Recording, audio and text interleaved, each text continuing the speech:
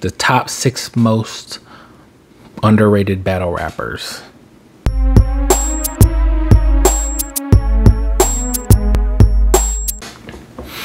Welcome to another episode of Read Between the Rhymes.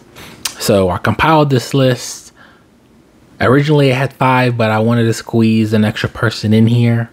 Um, I'm sure I can make a list of 20 people, but uh, this is just a personal six that uh, I came up with. So uh, let's get to it. And number one, Big Cannon. Big Cannon is so underrated. He's I've seen him live back in the grind time days in Chicago in the back of a clothing store and even back then he had stage presence he had everything that you would you consider um, a top tier battle he had all the attributes um, he's been running through people on grind time he had uh, classic battles on rbe uh, he got people out of here on url he uh, he's one of the top freestylers in the game. I mean, you cannot doubt that he's he can freestyle. He can do re- rebuttals with the best of them. I mean, if you look at the RBE battle he had with Sharon, I mean, they're just going back and forth, back and forth with rebuttals and a whole freestyle round. I mean, it's pretty dope. And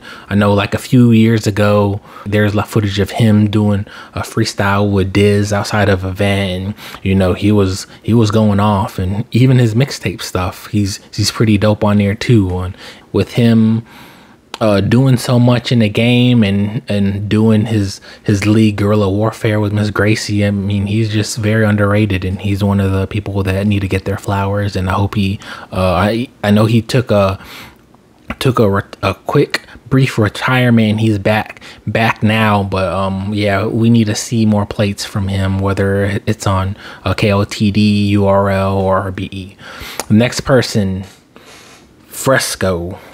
So Fresco, I've seen him live too uh, back in the day in grind time in Chicago, and before he joined the group in Innuendo with QP and them. I mean, he was he was uh, unique and he was different. He he had good lines. I mean, when you listen to certain battle rappers, you're just like, man, they could have put that that line better or put that verse better than what the final product was. So, but when you when you listen to Fresco, you you get a sense that you know he wrote that as perfect it, it could be. You know, you can't think of no other way you should say this particular line like he does it. I mean, he he checks all the boxes as uh Royce would say. Some of the last battles I've seen from him was versus I think Roan or uh Thesaurus or something like that from years back. I'm not sure if he's dropped anything new. He's kind of like in and out, even with the with the small sample size, he is I'm gonna go out on a limb and say he is one of the top punchliners in the game. Like when you listen to him, it's like you can hear like Big K saying those lines, uh, or even better than what Big K would. Because when you think of Big K, you know he's punching back to back to back you know when you hear some of these other rappers they punching but i mean just check out him versus uh qp fresco versus qp Q, uh fresco versus thesaurus. And when you watch it you're just like dang he is like punching this person's head off. And it, he is going wild even though he's super emo about his emo style. I mean he's super dope. He never chokes. He always brings it even from back in the day uh, bat- battle of the bay days uh, and uh, grind time battles with like kid Twist And all them. So you gotta check him out. He's pretty dope. Next person on my list, Danger Zone. Danger Zone, Danger Zone, Danger Zone.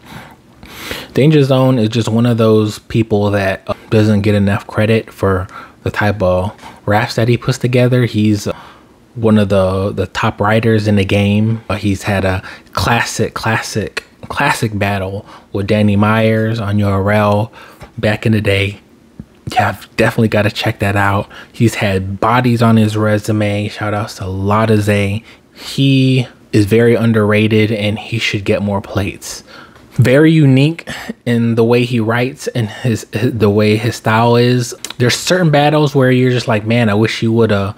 It's a little too close for comfort, like him versus O-Red. I believe he went against O-Red. He got O-Red out of here because O-Red choked, but it's almost like he didn't body body him the way he should have. Like if O-Red would have would have came with just regular, just his regular raps, then I feel like it would be a debatable. Uh, him versus Chaos, I feel like that one's a little too close for comfort too. Plus Chaos rapped a little bit longer.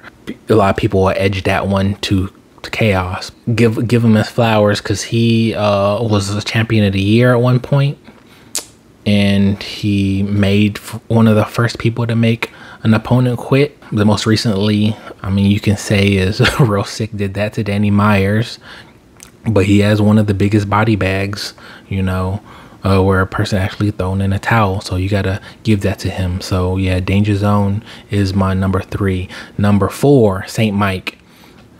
Saint Mike is dope, dope rapper. He's one of those rap rap battle rappers. He got Anubis out of here.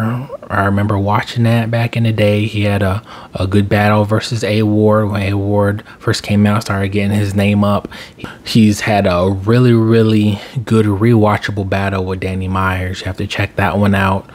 I would like to see him see him more. I know he's uh he's done some battles recently with RBE, but I need to see him like a KOTD more um consistently. He's very dope. I don't want him to not not get any place or not see him at all. Number five, Scotty. Scotty is one of those unique battle rappers. You know, they just like Fresco, he says everything right. Where this is the most perfect you can say it in his own style. He runs his own league in Houston Barcode. Shout out to Houston Barcode. I always go to their events. He's in the seasons tournament with on KOTD.